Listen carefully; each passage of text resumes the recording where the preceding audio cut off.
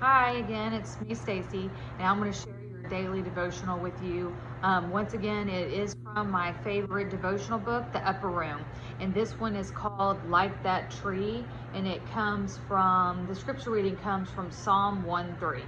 And it says, That person is like a tree planted by streams of water, which yields its fruit in season and whose leaf does not wither. Whatever they do prospers.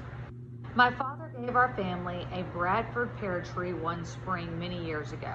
It hardly rained the summer following, and even though I was eight months pregnant, I went out every day and watered the tiny tree, trying to help it make it through the simmering Georgia heat. The tree has now survived for two decades. In the days after my father's recent death, I have struggled to find peace and comfort, but I have often found solace while sitting under the tree he gave us.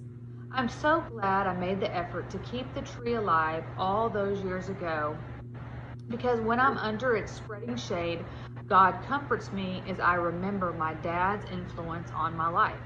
It's an even greater comfort to realize that I am still sitting under that influence as well.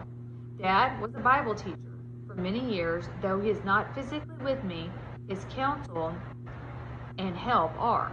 I cherish all the wisdom and compassion he poured into me through the years.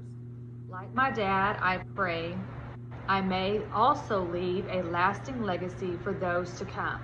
I want my life to be like his tree, providing shelter and help for the generations who follow me. Please pray with me.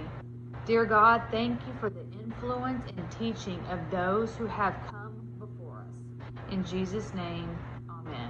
And the thought for the day is whose positive influence has nurtured my spiritual life. Thank you.